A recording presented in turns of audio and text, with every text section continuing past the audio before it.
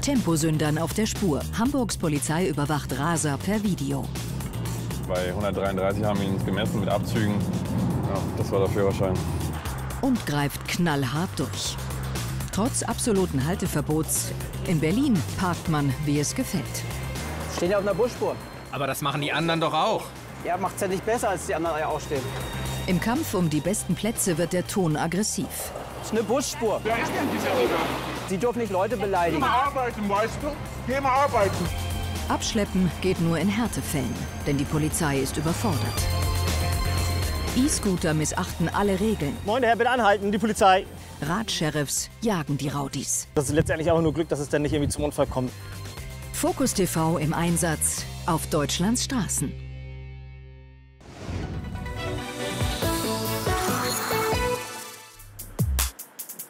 Hamburg. Im Stadtteil Horn sitzt die Verkehrsstaffel Ost der Polizei. Die Behörde ist für Raser und Poser auf den Straßen der Hansestadt zuständig. Insgesamt fünf sogenannte Provida-Einheiten schwärmen täglich aus, um Temposünder zu überführen. Im Visier heute Verstöße auf der Autobahn und in der Stadt. Wenn das Wetter gut ist, haben wir ähm, in der Vergangenheit die Erfahrung gemacht, dann sind viele Leute unterwegs, die sind gerne auf den Straßen, wollen sich wohl auch gerne zeigen. Und äh, zu erwarten ist dann einfach, dass wir unter Umständen Fahrzeugrennen sehen, dass wir hochpreisige Fahrzeuge äh, sehen werden, also von AMG bis Ferrari über Lamborghini. Und das ist auch irgendwo ein, eine Glückssache, dann auch so ein Fahrzeug aufzunehmen, was dann natürlich auch zu schnell ist. Die Aufgaben im Team sind klar verteilt. Kommissar Dennis steuert den Mercedes im Zivil. Beifahrer Michael ist für die Beweissicherung zuständig. Also meine Aufgabe ist die, die ähm, eigentlich die Kamera zu bedienen. Und zwar, wir haben ja hier in diesem Fahrzeug äh, die Provida Messerlage drin, die basierend auf dem äh, Wegzeitgesetz ist. Und äh, damit ermitteln wir dann schlussendlich die Geschwindigkeit von dem Fahrzeugführer vor uns oder auch hinter uns. Das ist so meine Aufgabe hier mit dem, äh, ja, wir mal, mit dem Stick hier, der jetzt hier ist, äh, den muss ich halt bedienen. Hamburgs Straßennetz hat eine Gesamtlänge von rund 4000 Kilometern. Knapp 83 davon sind Autobahnen. Zumeist gelten hier Tempolimits von 80 bis 120 km/h. Um hier Verstöße festzustellen, braucht es Taktik und Erfahrung. Ich versuche mal nach vorne ein bisschen Luft zu lassen und äh, warte mal ab, dass dann, wenn so ein Pulk ankommt und wenn da jemand dabei ist, dann versuche ich mich damit reinzuhängen. Weil das Problem ist, wenn man in einem Pulk mitschwimmt, dann wird da nichts passieren. Dann wird man immer in dem gleichen Fahrzeugpulk sein. Und da entwickelt sich selten einer heraus. Aber dass mal von hinten jemand angeflogen kommt, das ist dann schon denkbar. In der Tat, ganz links überholt plötzlich ein Audi mit Karacho. Der Polizeimeister startet die Videomessung. sind wir 80. Ja, jetzt kommen wir 120er. Geeichte 128. Zack, zu schnell. Ich würde den immer mit, oder? Schnell fahren. Dann fangen wir heute mal mit dem schönen Bußgeld an. Das ist super. Für den ertappten Vielfahrer eher weniger. Denn ab einer Überschreitung von 41 km/h droht ein Fahrverbot. Kommissar Dennis lotst den Audi von der Autobahn. Moin. Ähm, Grund des Anhaltens ist, dass Sie ein bisschen zügig unterwegs sind. Okay. Was ich Ihnen aber sagen kann, dass wir im 80er-Bereich waren, im Kro- Hamburg-Kreuz Ost. Vor Ihnen war er frei. Die haben Sie dann anscheinend genutzt, sodass Sie, wir mal, mindestens auf 120 so beschleunigt haben. Also ich kann Ihnen das nur so sagen, was wir auf unserem Fahrzeug gesehen haben. Ne? 41 drüber wäre Fahrverbot. Nichtsdestotrotz, Sie werden jetzt hier vor Ort nicht belehrt. Wir werten das aus, dann bekommen Sie einen Anhörungsbogen, haben die Möglichkeit, sich dann zum Sachverhalt zu äußern. Ich kann sicherlich vieles verstehen, dass wenn man viele Kilometer in seinem Leben auf der Autobahn verbringt und heutzutage ist die einfach immer relativ voll, äh, dann ist das sicherlich auch ein Stück weit nervig. Aber natürlich muss er sich an die Regeln halten irgendwo. Ne? Der Rest ist Routine. Polizeimeister Michael schreibt die Anzeige, Dennis checkt das Punktekonto des Vielfahrers. Der nimmt's gelassen. Einmal Ihren Fahrzeugschein, dann Ihren Führerschein und einmal Ihren Personalausweis. Alles klar. Und es steht Ihnen aber nichtsdestotrotz steht es Ihnen frei, einen Rechtsbeistand zu nehmen ne? und dagegen dann nachher dann auch vorzugehen. War Ihnen das jetzt nicht bewusst, dass da in der 80er-Zone Sie deutlich zu schnell Ich waren? hab das ehrlich gesagt gar nicht gesehen.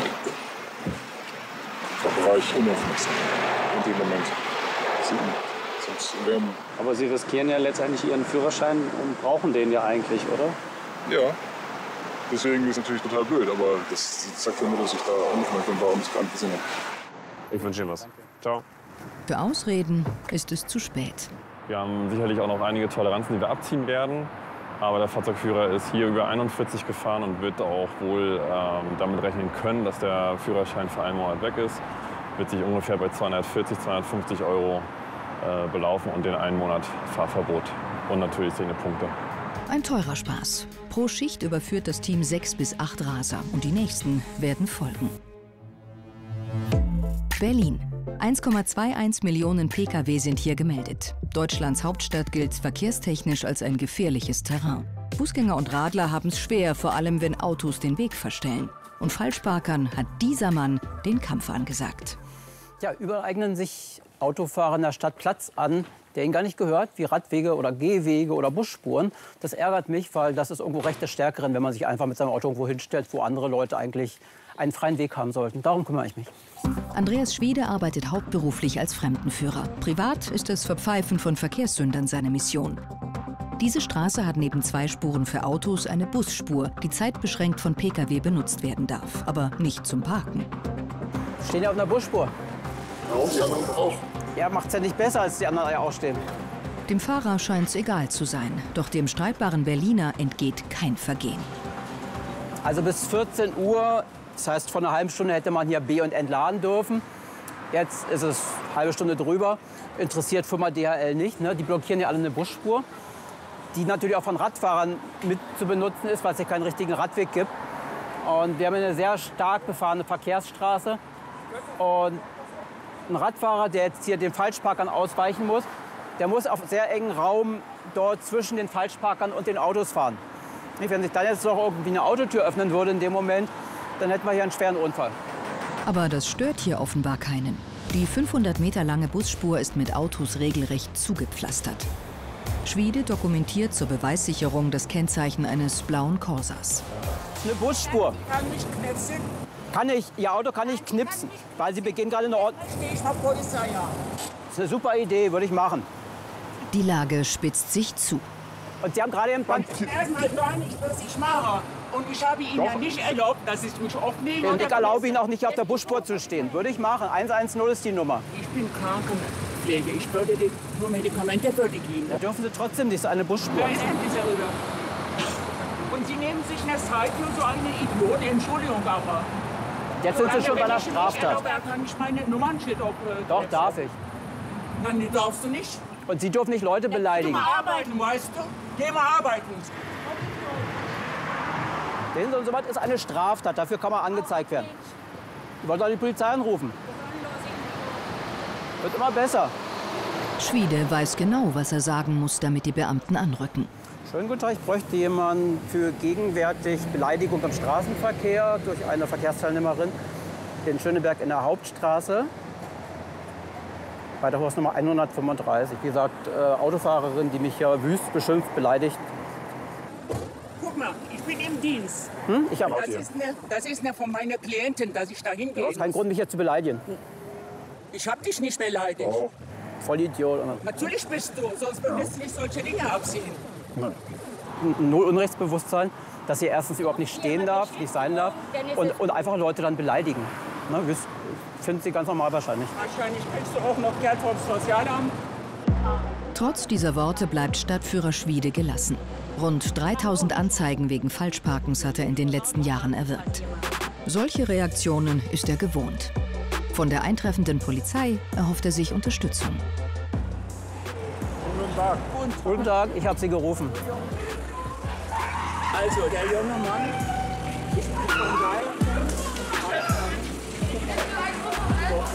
Vom Parken im Halteverbot ist plötzlich keine Rede mehr. Und das, obwohl es für Radler weiter gefährlich ist. Fälschlicherweise ergreift die Polizei sogar Partei für die Autofahrerin. So, Herr Schmiedel, Sie haben die Dame fotografiert, das dürfen Sie nicht, das wissen Sie. Das weiß ich, habe ich. Und ich möchte eine Strafanzeige gegen die Dame, Strafantrag, weil sie hat mich beleidigt. Sehr wüst beleidigt. Was hat sie denn gesagt? Voll Idiot. Das hat sie auch mehrfach wiederholt, nochmal sie Idiot. Und sie gehen, gehen wahrscheinlich nicht arbeiten, leben von Sozialhilfe und so weiter. Ich Wollen wir es jetzt noch mal erklären, was ich gemacht habe? Ich habe Sie angesprochen. Ich auf einer ich rede mir jetzt gerade mit der Dame, nicht mit Ihnen. Ich komme gleich zu Ihnen und Alles gut. so lange auf den Bürgersteig. Mache ich.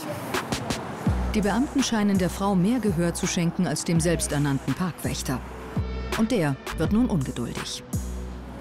Darf ich dann auch endlich was zum Sachverhalt sagen oder tun Sie nur die Beschuldigte irgendwie unendlich lange reden lassen? Beschuldigte ist sie äh, in Ihren Augen. Äh, für mich ist sie, Ist sie nichts oder war, hat alles richtig gemacht oder? das sagen Sie. Die Anzeige wegen Beleidigung nimmt die Polizei auf. Das Falschparken wird nicht sanktioniert. Ohne Verwarnung fährt die Pflegerin weg.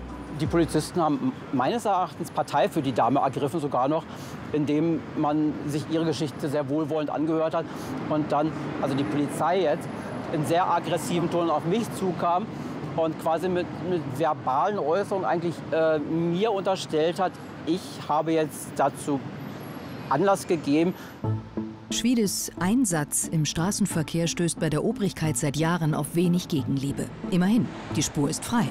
Für diesen Moment. Diese Busspur war noch nicht einen einzigen Tag seit 30 Jahren in der gesamten Geltungsdauer falschparkerfrei. Ja, die Polizei macht das Spiel, die räumt frei, fährt weg, dann stellen sich wieder Falschparker hin, die genau wissen, dass sie nicht stehen dürfen, aber die auch genau wissen, die Polizei war heute schon da und die kommen auch nicht mehr wieder. So unkonventionell Schwiedes Handeln sein mag, so ernst ist sein Hintergrund. Steffen Lorey hat das am eigenen Leib erfahren. Zum ersten Mal kehrt er in Pankow an die Stelle zurück, wo er selbst glücklicherweise noch mit dem Leben davonkam. Ja, schon ein mulmiges Gefühl, so ein bisschen flau im Magen. Die Situation ist eigentlich ganz, ganz ähnlich. Man sieht, hier stehen Autos, die Straße wird eng, die geht in diesen Tunnel rein. Ähm, der Verkehr ist relativ schnell, es ist eine Ausfallstraße aus Berlin. Und es war der erste schöne Frühlingstag. Ich kann mich gar nicht daran erinnern, wie die Tür aufgegangen ist. Das, der Fahrer hat die Tür gewissermaßen direkt vor mir geöffnet. Ich hatte da keine Chance zu reagieren. Und dann lag ich auf der Straße. Ich bin über beide Spuren geflogen. Der erste Gedanke war, oh Gott, oh Gott, hoffentlich können die Autos bremsen. Es waren Gott sei Dank keine Autos hinter mir. Dann hat eine Passantin sofort einen Krankenwagen und die Polizei gerufen. Und ich kam dann ins Krankenhaus, in die Notaufnahme. Und dann wurde mir allerdings nach einer Röntgenaufnahme eröffnet, dass ich eine Fraktur habe im Daumenhandgelenk und dass es eine sehr, sehr langfristige, wenn nicht lebenslange Verletzung ist. Seitdem muss er zweimal die Woche zur Handtherapie.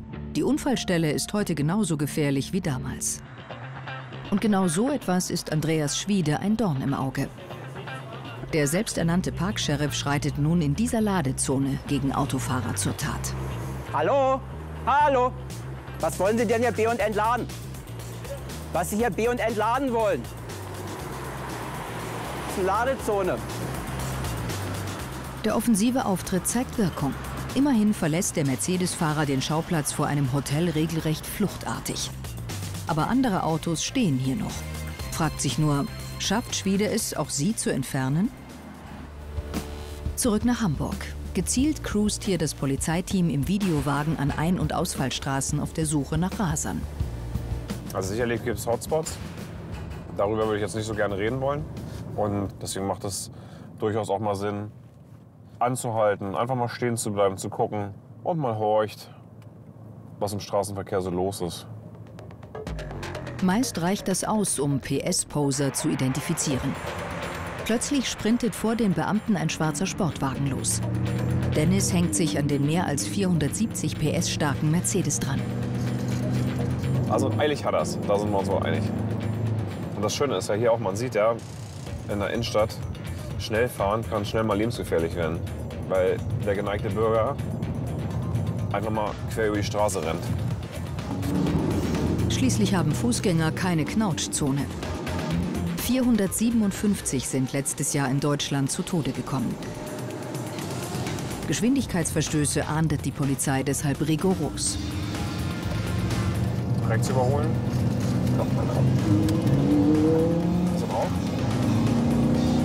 Manöver des AMG Mercedes sind brandgefährlich.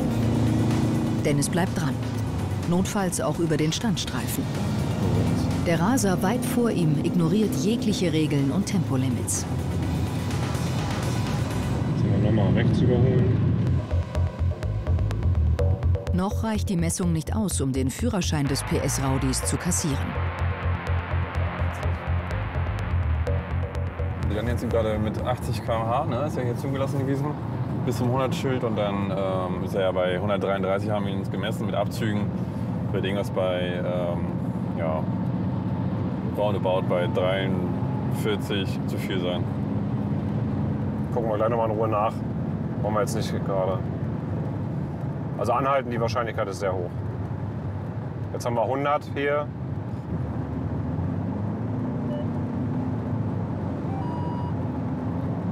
Jetzt wird es interessant. Jetzt wird es allerdings auch äh, spannend, wie wir ihn anhalten. Ne? Denn der Fahrer beschleunigt jetzt auf fast 180 Sachen. Ja, das war der Führerschein. Ja. Schönes Ding. Jetzt müssen wir natürlich gucken, wie wir natürlich ihn am besten jetzt gleich äh, mitnehmen. Nun versucht das Provida-Team mit dem getunten Dienstwagen den Raser zu überholen. Spätestens jetzt muss ihm klar sein, dass er es mit der Polizei zu tun hat. Kontrolliert eskortieren die Beamten den AMG zum nächsten Rastplatz. Oft ergreifen Ertappte auf der Autobahn in solchen Situationen die Flucht. Wie wird dieser Fahrer reagieren? Moin. Wir sind von der Hamburger Polizei. Ich hätte ganz gerne von Ihnen Führerschein, Fahrzeugschein und einen Ausweis. Die Grund des Anhaltens, Sie haben schon richtig erkannt, das ist ein Videofahrzeug der Polizei Hamburg. Sie sind schon, wir sind schon weiter an Ihnen dran, Sie sind relativ zügig unterwegs. Das ist schon im Hamburger Stadtgebiet, da waren wir schon unter, hinter Ihnen. Ja, ja, sind schon eine Weile. Auf jeden Fall auch in dem Bereich, wir haben einmal 80, da waren Sie zu schnell. Dann haben wir den Bereich 100, da waren Sie deutlich zu schnell. Das äh, könnte durchaus möglich sein, genau. Wir kommen dann gleich wieder zu Ihnen, ich nehme das erstmal auf. Ein 100.000 Euro Auto und dann dieser Fahrer. Das passt für die Polizei nicht wirklich zusammen. Die Routineabfrage bringt zutage, die Akte des Mannes ist mit Vergehen von A bis Z prall gefüllt. Lag gegen den Kollegen schon was vor? Oder? Wenn wir Kfz weglassen, dann alles, ja. Das passt. Also wirklich alles. Genau. Ist natürlich immer erstaunlicher, dass man mit so einem Auto hier durch die Gegend fährt. Fragt sich, wie lange noch. Dem Fahrer dämmert das auch langsam. Da sagte ich ja, das kann ich Ihnen nicht sagen. Es ist aber definitiv, sind wir im Fahrverbotsbereich. Ja, kommen Sie gut nach Hause ne? und schlafen Sie ein bisschen. Scheinbar unbeeindruckt setzt der Mercedes-Fahrer seine Fahrt fort. Bevor es weitergeht, kontrollieren die Beamten ihre Aufnahmen. Die Faktenlage ist erdrückend. Jetzt konnten wir sehen, dass wir in der Spitze mit unserem Fahrzeug bei fast 180 km/h bei erlaubten 100 waren. Und, äh, er hat sich nach, und er hat sich noch entfernt von uns, sodass wir tatsächlich sagen können, das war ein, ein guter Sachverhalt. Auf den Herrn warten ca. drei Monate Fahrverbot, ein saftiges Bußgeld. Wir werden hier vermutlich auch den Vorsatz mit anbringen. Das würde heißen, dass das Bußgeld verdoppelt wird. Ähm, und dann ist er bei weit über 1000 Euro, denke ich, Bußgeld plus drei Monate Fahrverbot. Ich denke, das war schon nicht schlecht. Und weiter geht es. Ihre Jagd auf Raser wollen die Hamburger Polizisten gleich im Zentrum der Hansestadt fortsetzen. Dort gibt es seit kurzem ein weiteres Problem im Straßenverkehr. E-Scooter. Seit ihrer offiziellen Zulassung im Sommer kümmert sich eine Radstaffel der Hamburger Polizei um die Elektroflitzer rund um Elbe und Alster. Da sich die Benutzer der Scooter allzu oft über Regeln hinweggesetzt haben, wollen die Fahrradsheriffs jetzt mit Schwerpunktkontrollen dagegenhalten. Ich denke, wir behalten uns in dem Bereich der Innenstadt auf. Vielleicht so im Rahmen der Europapassage, dass wir uns da irgendwo aufstellen. Wetter ist relativ durchwachsen, aber der eine oder andere wird bestimmt unterwegs sein. Und Ja. dann gucken wir, was heute geht. Ja, dann lass Ja. uns starten. Geht los. Die heutige Kontrolle ist die 13. seit Einführung der E-Scooter. Den wenigsten ihrer Benutzer ist klar, dass sie bei schweren Verstößen ihren Autoführerschein riskieren. Angefangen hat es eigentlich schon so ein bisschen so, sag ich mal, so im Frühling, so Anfang dieses Jahres, wo so langsam diese sagen wir, neuen Fahrzeuge sich so etabliert haben, wo viele Leute eben halt unerlaubterweise mit unterwegs waren. Waren natürlich dann noch mal gleich Strafanzeigen, weil die sich dem gar nicht bewusst waren meistens. Und jetzt natürlich dann, seitdem jetzt Mitte Juni das Gesetz in Kraft getreten ist, sowas, dann ist es ein bisschen massiver geworden. Allein 89 Scooterfahrer mussten in diesem Jahr die Hamburger Krankenhäuser schon verarzten. Los geht die Kontrollfahrt in Richtung Landungsbrücken. Dort wollen die Polizisten Marc Ludwig und Birger Kempernolte überprüfen, ob das Fahrverbot im Fußgängerbereich eingehalten wird. Es droht ein Bußgeld von 10 Euro. Die Polizei wieder anhalten. Moin, die Polizei. Hallo. Das ist hier ein Gehweg. Wir Kommen haben Sie gleich mit dazu, den können Sie zuhören? Kraftfahrzeugen nichts zu suchen. Okay. Ja. Sie dürfen genau oder schieben. Sie können auch gerne nach unten. Hier gibt ja, da gibt es eine Möglichkeit, über die Rampe nach unten zu schieben. neben Fahrradfahrer vor uns lang, deswegen Ja, genau. Auch Fahrradfahrer auch dürfen hier nicht fahren. Es ist ja kein Radweg hier, sondern ein Gehweg. Ähm, und wenn kein Gehweg vorhanden, äh, kein Radweg vorhanden ist, dann müssen Sie auf die Fahrbahn ausweichen. Hier gibt es äh, schöne Fahrradstreifen neben der Fahrbahn. Da können auch Sie wunderbar fahren. Ausreden lassen die Polizisten nicht gelten. Fadenscheinige Vorwände gegenüber der Obrigkeit kennen sie zu Genüge. Ich bin ja nicht von hier. Ne, und dann ist es auch eine gern genommene Ausrede ganz einfach, denn wenn man irgendwo als Tourist ist oder sowas. Das mag ja sein, aber wie ich eingangs sagte, die Regeln sind überall die gleichen. Nicht nur in Deutschland, sondern eigentlich sogar fast weltweit, sag ich mal. Ne?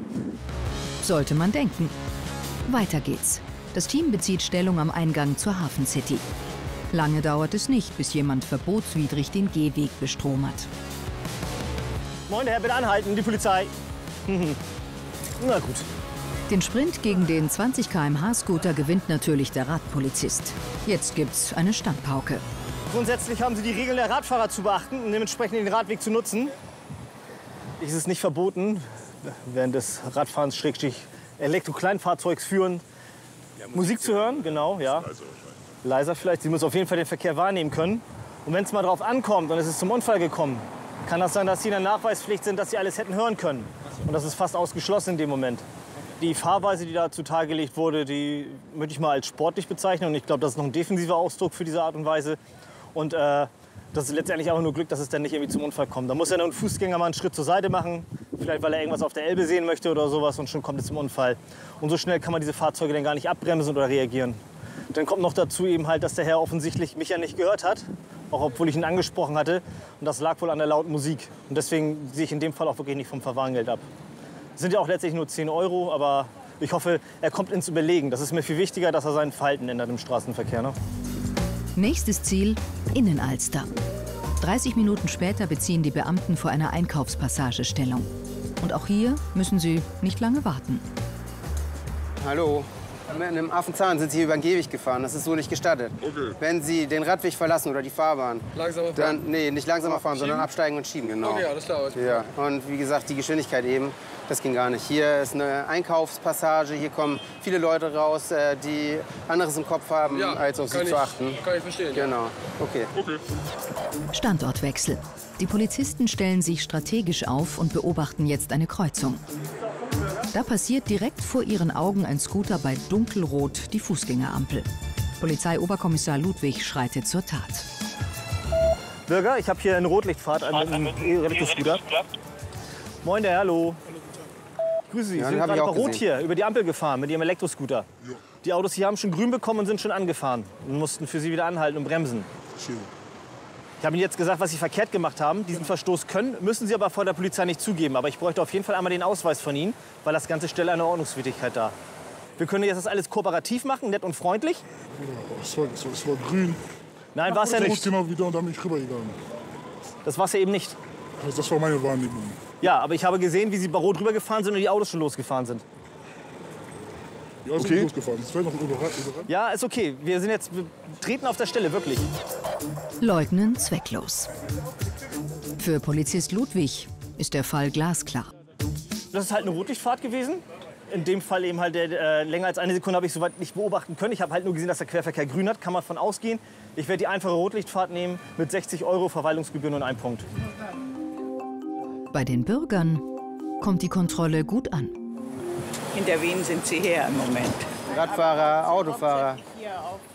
Die, genau, die Scooter auch, genau. Ich bin von einem auch schon angefahren worden. Tatsächlich? Ja. Und schwer verletzt oder, oder überhaupt verletzt oder Na, ist es glimpflich aus? blaues Knie, Ja. also aber blöd. Äh, Die sollen die auf der Straße fahren, weil sie werden auch leider frech. Wenn man was sagt, sie dürfen hier nicht fahren, Oma halt die Schwerpunktkontrollen wie diese sind offenbar leider nötig.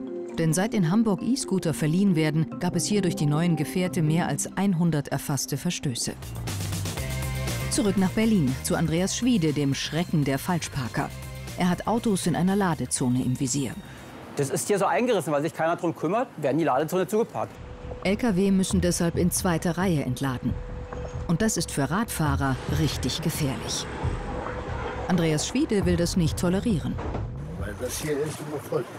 Naja, aber die Radfahrer sind jetzt die schwächsten Verkehrsteilnehmer. Ne? Und wenn ein Ja, Radfahrer richtig. ausweicht, da kommt einer angesegelt zu schnell, dann ist der Radfahrer unter Umständen tot und Sie sind mit Schuld, weil Sie jetzt stehen, wo Sie gar nicht stehen dürfen. Ja, genau, das ist ja richtig. Ja, und deshalb wäre natürlich auch gut, mal, wenn Sie auch die Polizei rufen, wenn Ihre Ladezone zugeparkt ist. Alles klar.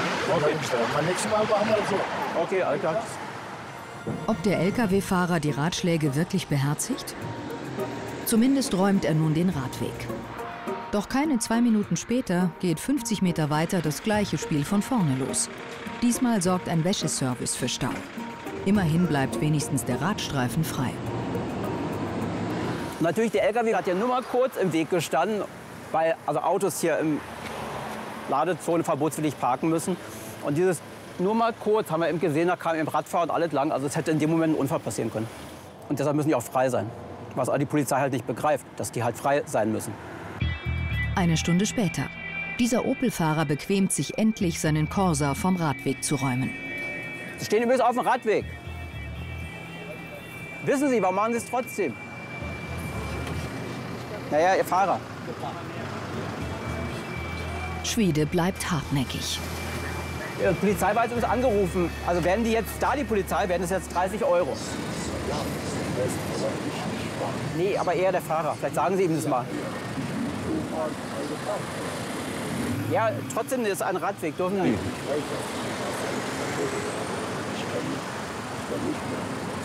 Ja, bestellen Sie mal Fahrer schöne Grüße. Nächstes Mal kann es teuer werden. Das ist jetzt nicht so, dass irgendwie da großartig Einsicht herrscht bei Leuten, es nicht zu tun, sondern es hat meistens keine Konsequenzen. Ja, und das ist auch, wenn wir höhere Bußgelder fordern. Ähm, es gibt kaum Leute, die dies schreiben, die Anzeigen. Und das wissen Berliner Autofahrer. Die freie Lücke nutzt der nächste Pkw, ebenfalls unerlaubt. Und das zum Leidwesen der Radler. Das Parkchaos scheint die Polizei auch heute kaum zu interessieren.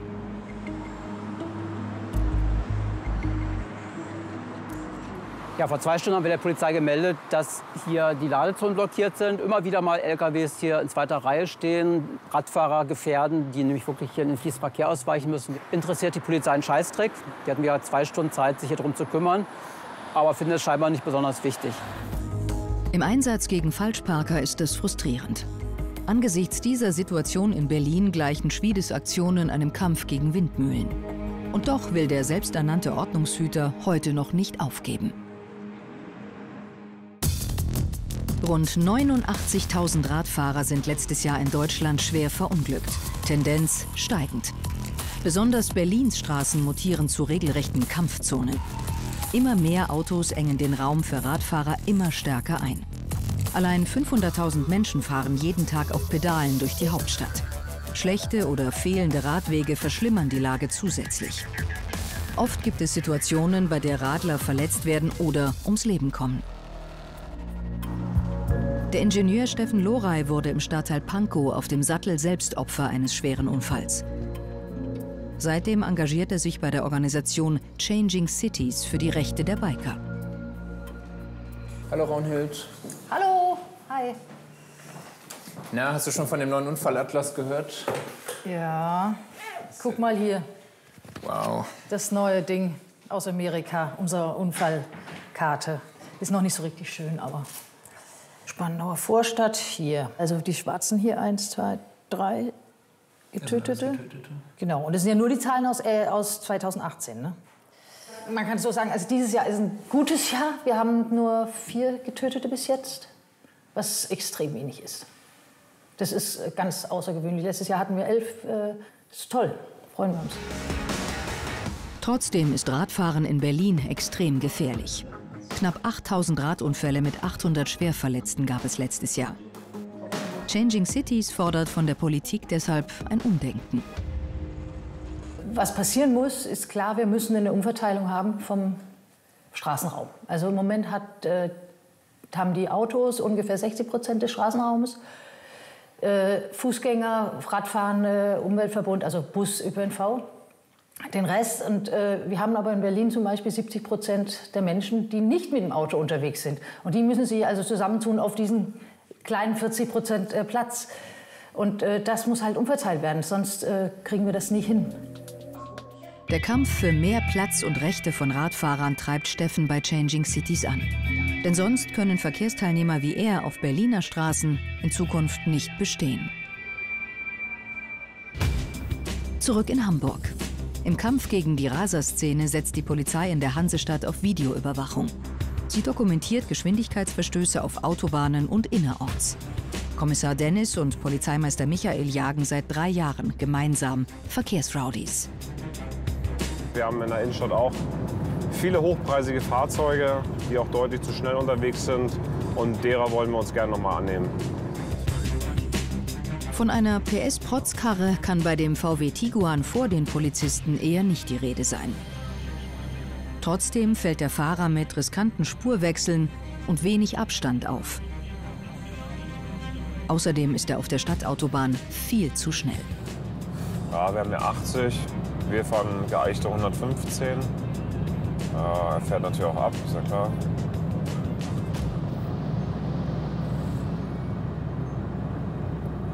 Wollen wir? Dann nehmen wir den jetzt mal mit. Wir würden hier das Vidista-Verfahren anwenden.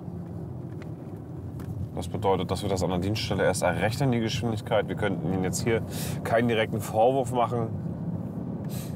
Aber als wir so 115 fuhren und er sich noch leicht entfernt hat, kann man da vielleicht von ausgehen, dass er so ungefähr 120 fuhr bei erlaubten 80. Dann haben wir schon mal ein schönes Bußgeld. Reicht das für ein Fahrverbot? Die spätere Auswertung des Videos wird zeigen, um wie viel der VW die 80 km/h überschritten hat. Für den Fahrer wird es jetzt unangenehm. Der Tatbestand des deutlichen Geschwindigkeitsverstoßes steht außer Frage. Moin, ich bin von der Verkehrsstaffel Ost. Für eine Verkehrskontrolle hätte ich gerne von Ihnen einen Führerschein, Ja. Fahrzeugschein und einen Ausweis. Ja. Sind Sie denn, machen die Musik einmal leise? Danke.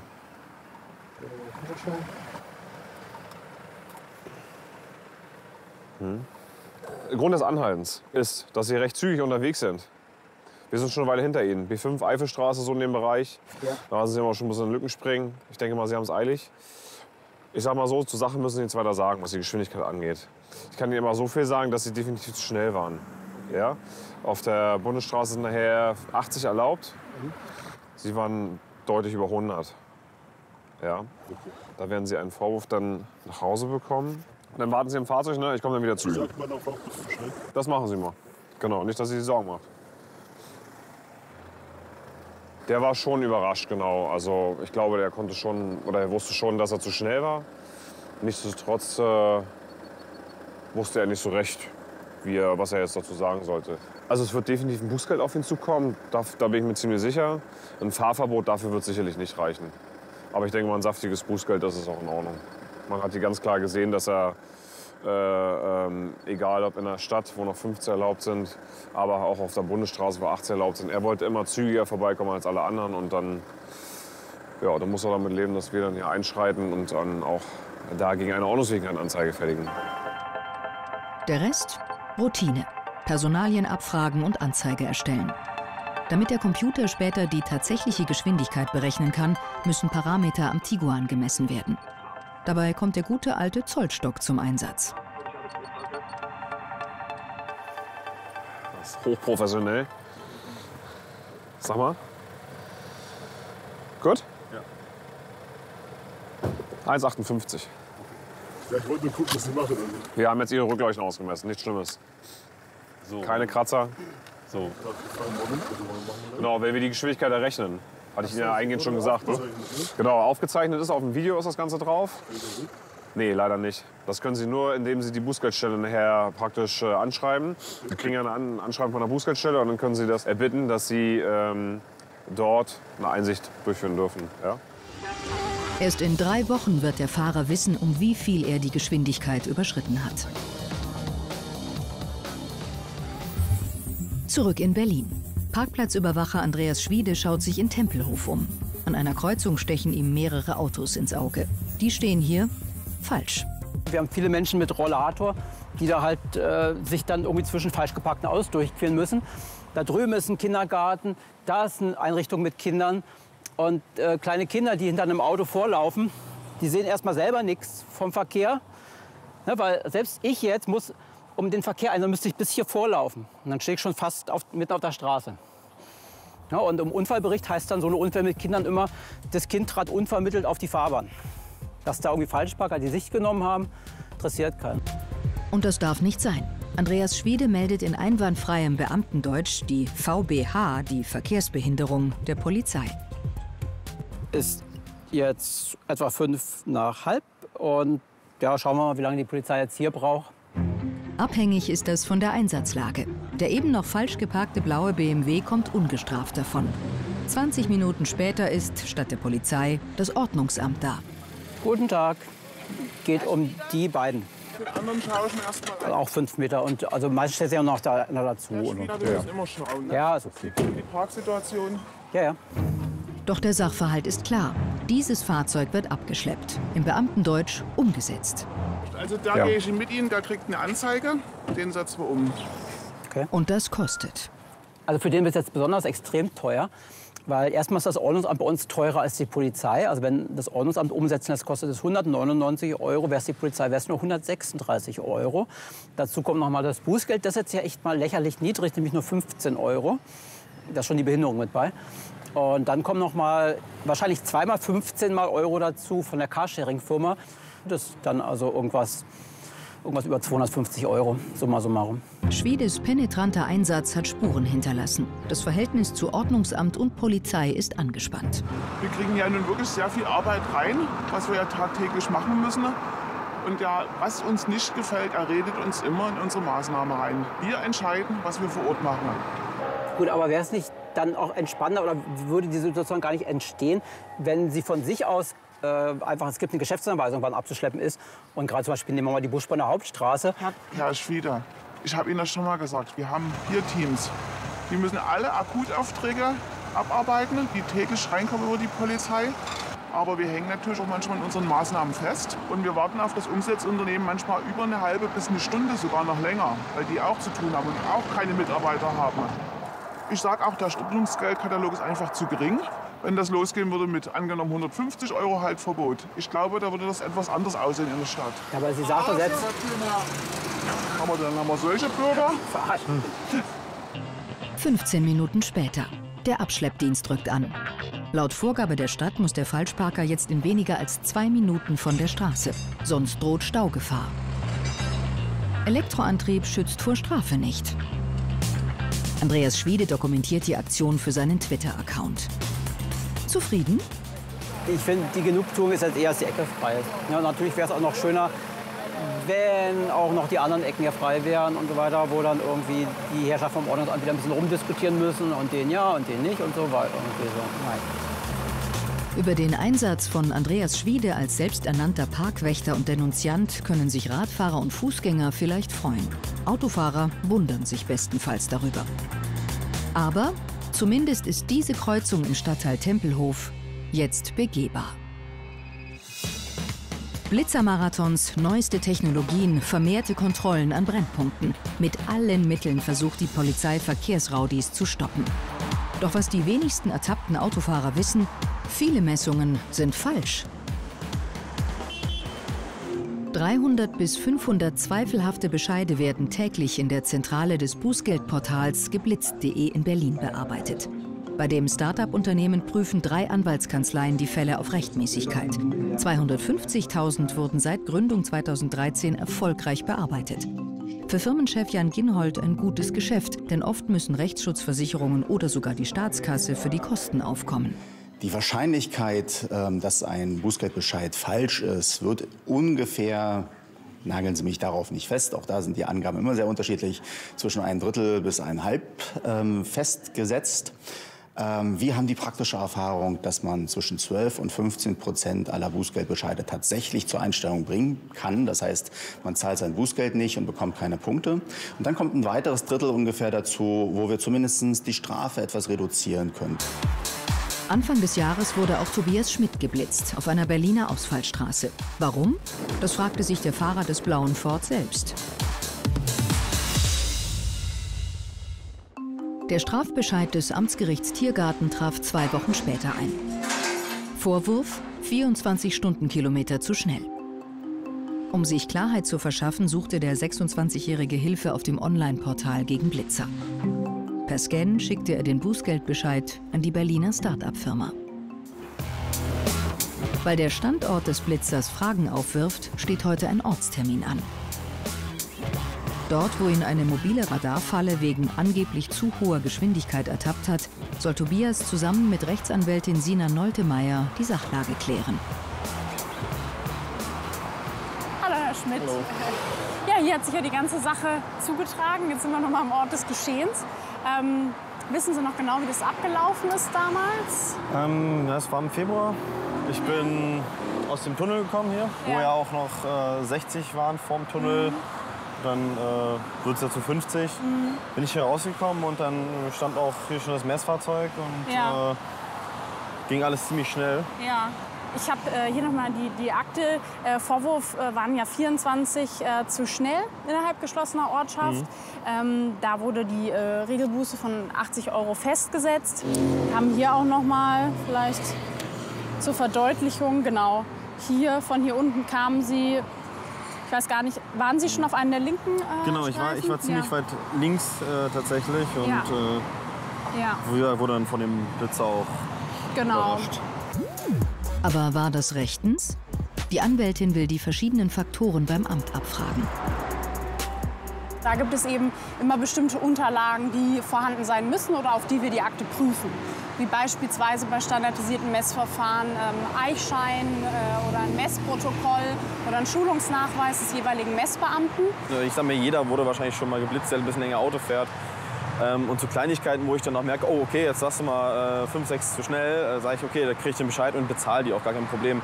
Aber halt so bei Sachen, ähm, wo ich selber dran zweifle so ein bisschen, weil ich mir so die Gegebenheiten anschaue und denke so, hm, okay, das, da könnte vielleicht irgendwas nicht hinhauen. Tobias ließ über die Online-Kanzlei letztlich Einspruch einlegen. Das beste Mittel gegen teure Bußgeldbescheide ist natürlich, sich an Geschwindigkeitsvorgaben zu halten. Das Verfahren wurde mittlerweile übrigens eingestellt. Der Grund, auf dem Blitzerfoto sei Tobias nicht eindeutig zu erkennen. Sich zu wehren kann sich also lohnen. Ortswechsel. Zu einer der umstrittensten Radarfallen der deutschen Hauptstadt. Mit stationären Blitzern versucht man hier, Autofahrer an Ampeln auszubremsen. Doch das ist zweifelhaft. Die Anwälte erläutern, warum vermeintliche Rotlichtsünder große Chancen haben, gegen einen Bußgeldbescheid von hier vorzugehen. Also hier haben wir im Prinzip jetzt eine der berühmtesten Blitzanlagen von äh, Berlin am großen Stern an der Siegessäule. Diese Anlage misst zum einen die Einhaltung der Geschwindigkeit, aber, und das ist hier eigentlich noch viel entscheidender, ähm, findet hier eine Rotlichtüberwachung statt. Denn wenn wir einmal nach da drüben gucken, hier haben wir nämlich folgendes Problem. Hier gibt es, wenn man sich bereits innerhalb des Kreisverkehrs befindet, dann nochmal eine Haltelinie mit einer roten Ampel. Gerade wenn man sich im, im mittleren Teil befindet, also in der mittleren Spur oder in einer der, der zweiten oder, oder vierten Spur, ist es eben so, dass viele Mandanten, die dann geblitzt werden, vollkommen überrascht sind und sagen, ich habe überhaupt gar kein Rotlicht gesehen, weil sich das eben so weit außen befindet. Hinzu kommt, dass Hindernisse wie Busse oder Lkw den Blick auf die roten Ampeln versperren. Das macht es besonders für ortsfremde Autofahrer unübersichtlich. Hier haben wir jetzt mal einen Beispielsfall. Hier ist ein Betroffener, der eben das Rotlicht gar nicht wahrgenommen hat, über die Haltelinie gefahren. Das ist das erste Bild, was gefertigt wird. Und dann sieht man im weiteren Verlauf, dass er hier dann weiterfährt innerhalb des Kreisverkehrs. Hier kommt schon das Fahrzeug Ja. aus der anderen Spur hereingefahren in den Kreisverkehr. Man sieht jetzt nicht, was mit diesem Fahrzeug ist, ob vielleicht der Betroffene nur zu spät gebremst hat oder weitergefahren ist. Mhm. Das ist also auch ein Punkt, der sich hier, das ist für uns juristisch ganz interessant, nicht immer ganz aufklären lässt. Und es häufig auch so ist, dass die sogenannte Rotlichtzeit weit über einer Sekunde liegt. Und das führt laut Bußgeldkatalog wiederum dann auch dazu, dass auch mit einem Fahrverbot dann äh, zu rechnen ist und einem Bußgeld von mindestens 200 Euro. Also es geht auch um was. Die Frage ist ganz unabhängig ähm, von der Tatsache, dass man hiermit wahrscheinlich äh, als Stadt Berlin äh, gut Geld verdienen kann. Äh, es geht einfach um die Verkehrssicherheit und dass man hier an einer solch wirklich unübersichtlichen Stelle und man weiß, dass hier regelmäßig die Leute das Rotlicht nicht wahrnehmen können, einfach nichts unternimmt. Laut den Anwälten ignoriert die Stadt Berlin bisher jegliche Umbauvorschläge zum Ampelstandort. Was im Umkehrschluss aber bedeutet, dass geblitzte Autofahrer weiterhin mit Erfolgsaussicht Einspruch gegen Bescheide an der Siegessäule einlegen können. Zurück in Hamburg. Auf der Jagd nach Rasern sind die Polizisten der Videopatrouille unterwegs in der Innenstadt. Plötzlich brettert vor ihnen dieser Smart über die rote Ampel. Eng. Tschüss, Ding, oder? Doch damit nicht genug. Fahren wir dann doch noch mal ein Stück hinterher und halten ihn dann in Ruhe an. Er telefoniert ja immer noch, ne? Genau, er telefoniert hier noch einwandfrei, auch von hinten sichtbar. Kamera so ein bisschen festzuhalten. In dem Fall ist das Telefonieren tatsächlich hochwertiger als die Rotlichtfahrt. Dieses Maß ist voll. Der Smartfahrer weiß jetzt, dass seine Stunde geschlagen hat. Komm mit, Mignon. Anstandslos folgt der Smart. Doch plötzlich spitzt sich die Lage zu. Moin. Sie geben mir erst Ihre Daten und dann gehen wir weiter. Genau. genau. Lassen Sie uns einmal. Hallo, bleiben Sie bei mir bitte. Bleiben Sie bitte bei mir. Mit Ihren. Ich stehe gleich sofort auf, wenn er die scheiß Kamera nicht aufmacht. Bleiben Sie jetzt bei mir und geben Sie Ihren Führerschein, Fahrzeugschein. Mach die Kamera aus! Hallo! Sie Was, bleiben jetzt bei mir. Ich möchte nicht laut. Warum schreien Sie mich an? Warum Weil nimmt Sie er hier mich auf? herumschreien. Okay, ich habe mich auch angehalten, kein Problem. Aber warum nimmt er mich auf? Bleiben Sie das ruhig. darf er doch gar nicht. Bleiben Sie ruhig, er darf das. Hör mal zu, nimm die scheiß Bleiben Sie ruhig. Bleiben Sie ruhig! Er soll die scheiß Kamera ausmachen! Streifenwagen bitte. Ruf den Streifenwagen, kein Problem.